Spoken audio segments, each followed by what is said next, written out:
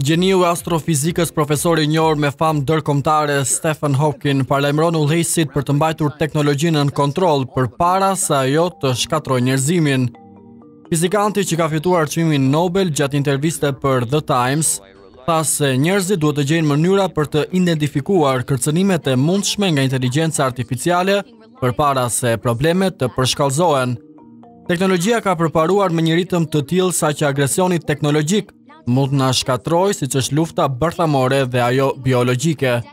Ne kemi nevojë për të kontrolluar instinktin e logjikës dhe arsyes sonë tha ai. Hawking ka theksuar se zgjidhja më e mirë do të ishte një formë e qeverisjes botërore që mund të mbikëqyrë fuqinë e zhvillimit të inteligjencës artificiale Por ai shfaqet optimist dhe mendon se raca njerëzore do të rritet për të përmbushur këto sfida.